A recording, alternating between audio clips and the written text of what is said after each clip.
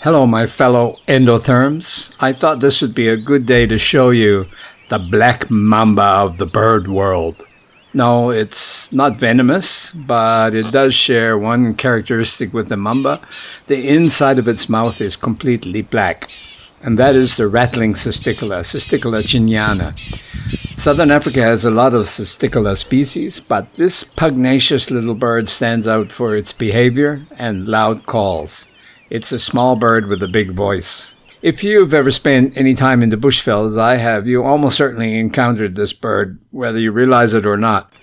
It's the only bird I know of that ever comes when you make a psh psh psh sound. Hiss like you imagine a snake sounding. And it will also come check you out. The rattling cisticola is native to Africa south of the equator and a little further north in East Africa. Here in the Lowveld, in summer, there's scarcely a few minutes that pass without hearing one calling. There's even one calling in the distance now as I'm recording this.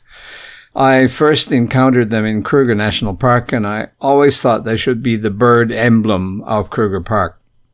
We nicknamed them Angry Bird just because they always look to humanize as if they're angry. Have a listen.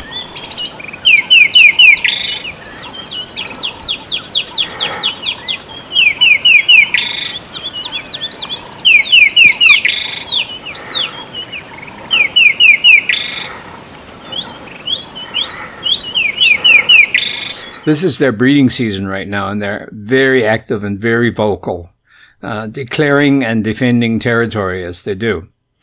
It may look drab, but it has character, and it's one of my favorite birds. Have a great day, everyone. Happy birding.